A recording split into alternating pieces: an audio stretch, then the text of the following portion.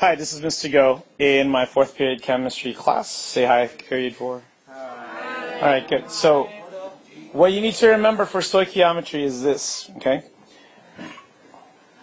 If I want to go from mass all the way to the mass, and regardless if it's the mass of the reactants to the products, the products, or vice versa. Okay. Note that there's always going to be three steps. Now, when you're doing the when you're doing the calculations, understand that first you need to convert this into moles of my reactants. Once you've converted this from the mole of a mass to moles of reactants, now you need to convert this into the other substance, which in this case happens to be the product. If I want to go from moles of the product to the mass of the products right here, then I'm going to need another calculation. Remember that there's three steps, three arrows, three steps. Now, for each one of these different things, you need a conversion factor. For this first one, we need the molar mass of the reactants. Okay, of the reactants. For this middle section, we need the mole ratio and that's from the balanced equation. And then for this last part right here, we need the molar mass of the products. Okay? Now, in order to find both of these molar masses, this one okay, and this one, you need the periodic table to figure it out.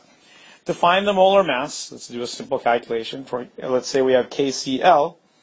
The molar mass of this would be whatever the atomic mass of uh, potassium would be and whatever the atomic mass of chlorine would be. So this happens to be 39 grams per mole. This happens to be 35.45, so we'll just round to the nearest 1 gram. So the molar mass of this is 74 grams per mole. This is the number that we add into the first or the third step, depending on whether or not this is the reactant or the product. So from our original example, we had K plus Cl2 is going to give me KCl Let's spend the time to balance it. There you go. All right, now we're going to go ahead and do a simple calculation. I think it was 78 grams of potassium.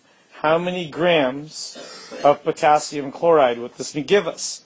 Well, in order to do that, grams of K, one, two, three. Okay, let me go ahead and erase this part right here. All right, so to find this, what we do is this. We need the molar mass of K, so we need to convert this into moles. To find that, we just look at the periodic table, that's 39 grams. If we have, uh, since we have the balanced equation, so let's put in the mole ratio. I'm going to put two K's on the bottom because that's what I want to cancel out. Since I want to get to KCl at the very end, KCl over here, I'm going to put 2 KCl. Again, that comes from the balanced equation that you see on top.